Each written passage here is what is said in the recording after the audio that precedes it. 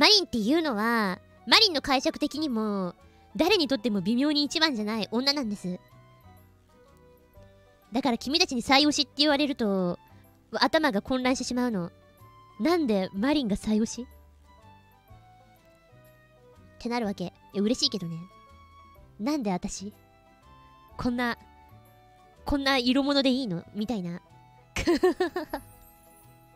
感じになっちゃうわけ